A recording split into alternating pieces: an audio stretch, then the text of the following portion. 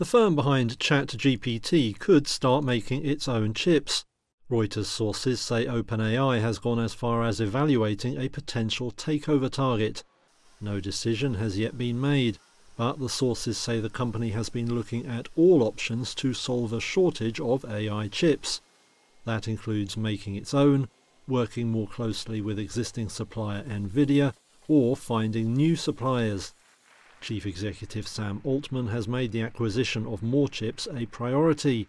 He's identified two big concerns a shortage of the advanced processors required, and what he calls the eye watering costs of running the hardware needed to operate OpenAI products.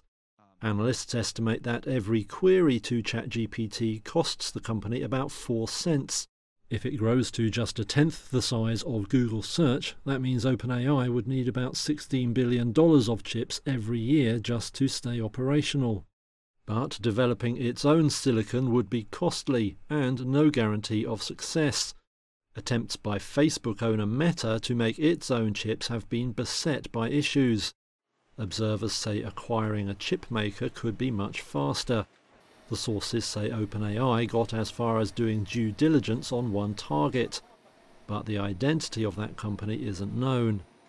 Demand for AI chips has soared since the launch of ChatGPT last year, with the market dominated by Nvidia.